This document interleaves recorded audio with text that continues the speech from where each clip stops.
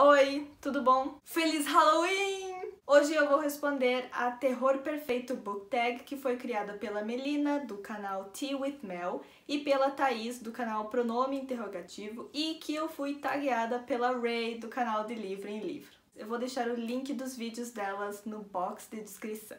A ideia da tag é criar um livro de terror perfeito com alguns elementos aí que a gente escolhe. Primeiro é o lugar onde essa história vai se passar. Ah, eu ia gostar muito de um livro de suspense, terror, enfim, é, que se passasse na Oxford da Lyra, de A Bússola de Ouro, do Philip Pullman.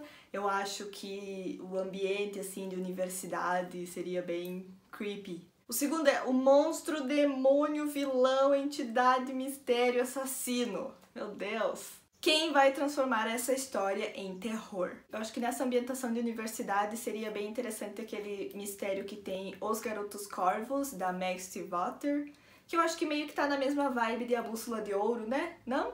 Terceira, o protagonista. Quem vai resolver essa situação? Aqui não tem outra personagem melhor para resolver todo um mistério do que Flávia de Lucy. A quarta é o autor. Quem você gostaria que escrevesse essa história? Jennifer McMahon, que escreveu os livros perfeitos Prisioneiros de Inverno e Não Digo Uma Palavra. A quinta é o final. O final perfeito seria parecido com qual livro? Um final aberto. Deixa a imaginação. Fulano subiu a montanha. O que ele encontrou na montanha, você que descubra. Já que eu falei em Jennifer McMahon e no livro dela Não Digo Uma Palavra, eu vou dizer que seria o final perfeito desse livro, porque ele é um final muito aberto. A sexta e última é trilha sonora. O livro foi um sucesso e vai virar filme. Quem vai cuidar da trilha sonora? Danny Elfman, que fez a trilha sonora de Os Fantasmas Se Divertem, O Estranho Mundo de Jack, fez a, ele fez a trilha sonora de tantos filmes massa e creepy. Tem que ser ele! Bom, gente, era isso. Eu espero que vocês tenham gostado do meu livro aí de terror perfeito.